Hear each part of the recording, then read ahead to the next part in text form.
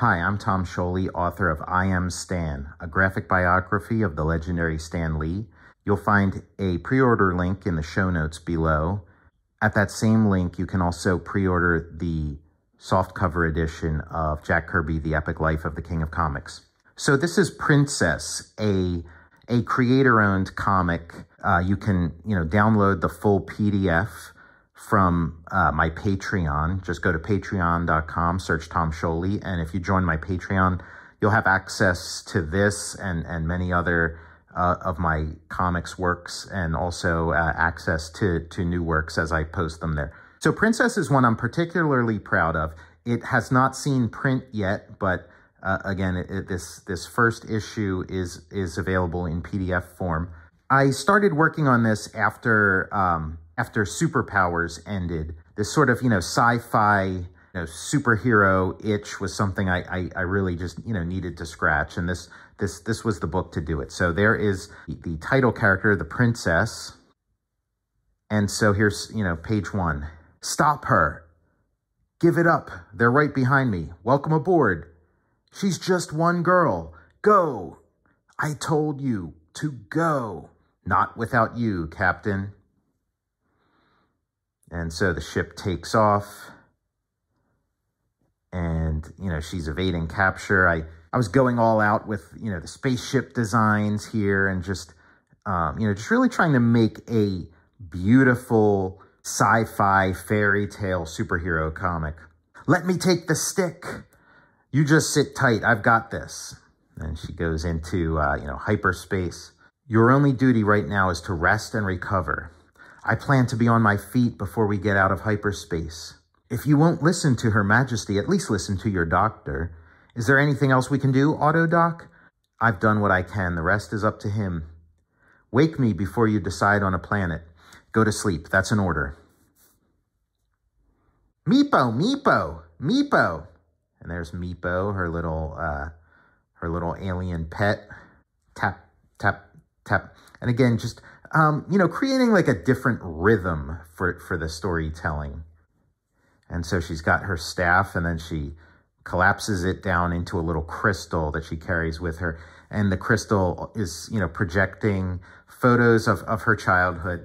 I had just done superpowers um, and, and then that, that book ended. And so I still had a lot of stories I wanted to do about a, uh, you know, twin prince and princess, uh, you know, from another planet. And so uh, this was a way I could sort of, you know, take some of those stories that I wanted to tell and, and, and you know, take all those little bits and pieces uh, of, of stories I never got to tell and, and see if I could make something new out of it and, and sort of, you know, creating a new arch archetypal hero and this sort of extreme close-up of these sort of, uh, you know, uh, bulbous, uh, you know, glistening eyes. If you can hear this message, princess, we want you to know we miss you. Come home and all will be forgiven. Don't make us come get you. So that's like a little sort of hologram that's being projected into hyperspace a message from home. Don't worry, hyperspace messages can't hurt you. Meepo, Meepo. No one's figured out how to do that yet.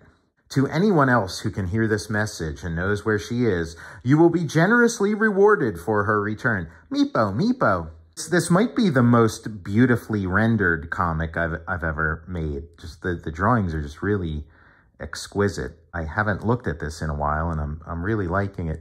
There aren't many planets that won't be crawling with agents looking for us. Our only options are the distant outposts where we can trade for what we need. Captain, I found the perfect planet. And she thinks he's dead, but he's just sleeping. And there's the perfect planet.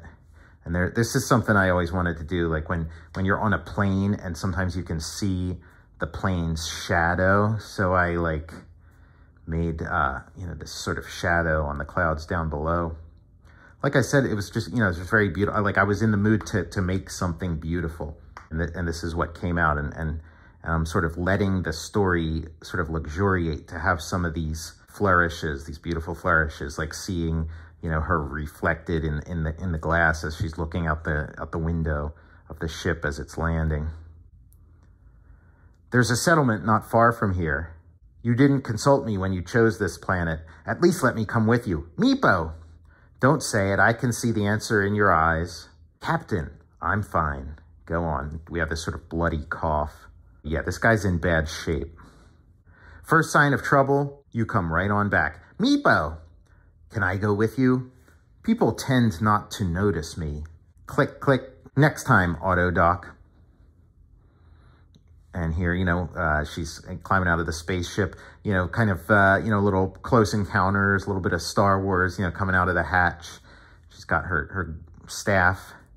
She's got her breathing apparatus. Walking through the forest.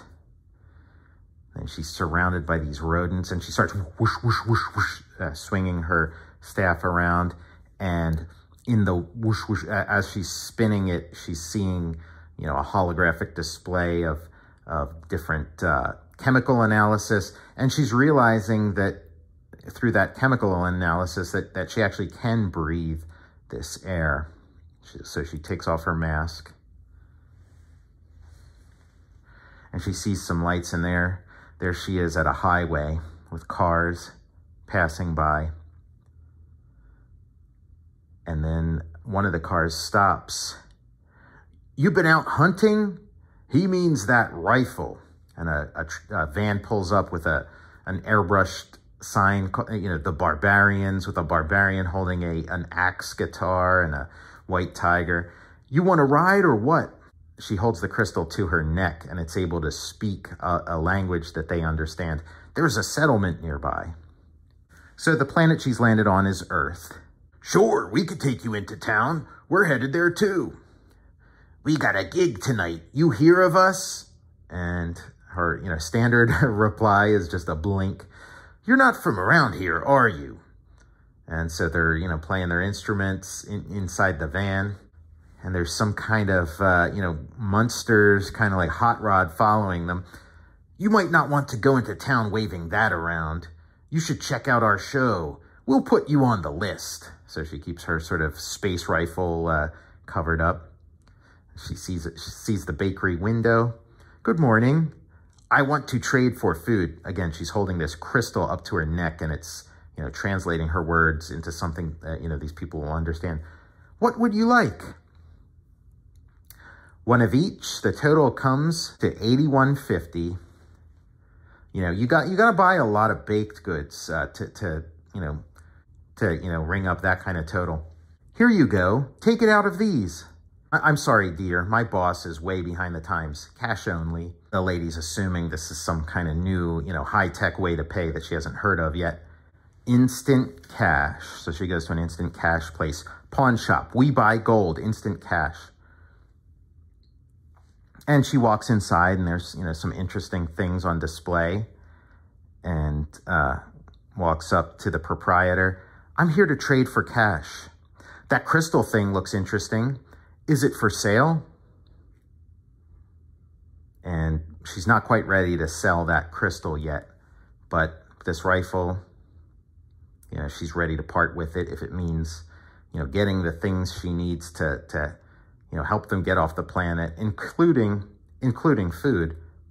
How much for that? Bounty hunters are scouring the galaxy. Finding her could take hours or decades. Any ideas? I suggest we lure her out of hiding. Get something she holds dear and she'll come to us. Something or someone. Meepo, you were supposed to stay back at the Stardust. Boom. Meepo. Meepo! How did you find me? Of all the stars and planets, how did you know I'd come here? Every bounty hunter is a gambler. We could have looked in the obvious places like everybody else. Me and my crew bet on a long shot and got lucky. Only thing left to do is figure out how to split you up four ways. So these are the bounty hunters. Again, just trying to have like some fun with the designs and, and you know, going for like a new aesthetic and, and whoosh, whoosh, whoosh. She's spinning her staff. Everybody's getting ready for the big throwdown. Jumps in the air, cracks one of them on the head. just having some fun with the fight choreography, you know, bringing in sort of a little more of a manga influence. So yeah, I was working on this, be, I was working on this after Superpowers, but uh, before GoBots, I guess. I guess it was Superpowers, Princess, GoBots, Jack Kirby. And so now she's getting ready to square off with this guy. Zap, zap, zap, zap. She's blocking all his shots with her staff.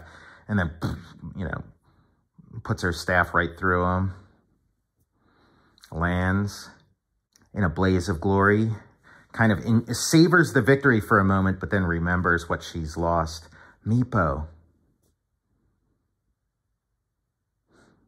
She goes back home empty-handed. Couldn't find Meepo anywhere. Meepo's gone. Look behind you. We've got a stowaway. I thought I'd lost you. You need to see this. And we cut back to her brother and what he's doing. You could end this nightmare right now. Just tell us, where is that poor girl? You don't scare me. That's good. There's no reason to fear me.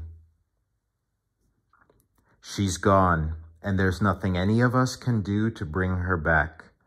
But what we can do is punish the perpetrator of this horrible crime.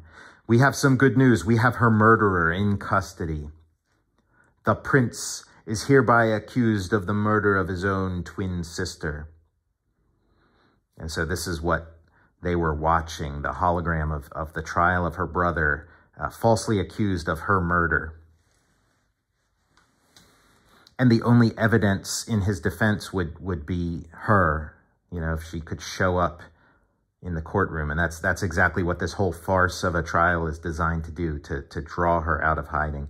I'll go back. If they see i'm alive they'll have to let him go. That's what they want. They're trying to lure you back and that's uh, that's the story of Princess so far. Pretty great start to a story, and you know it's something I'd be happy to return to.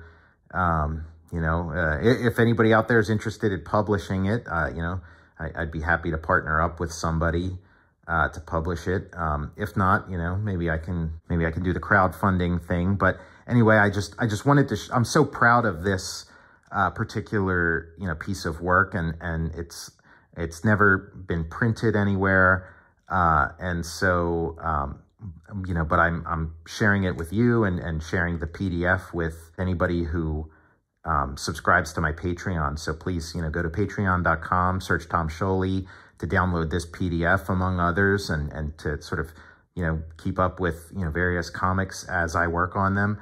And please uh, pre-order I Am Stan, a graphic biography of the legendary Stan Lee. You'll find the pre-order link in the show notes below. And um, at that same link, you can also pre-order the softcover edition of Jack Kirby, The Epic Life of the King of Comics. I'll see you next time.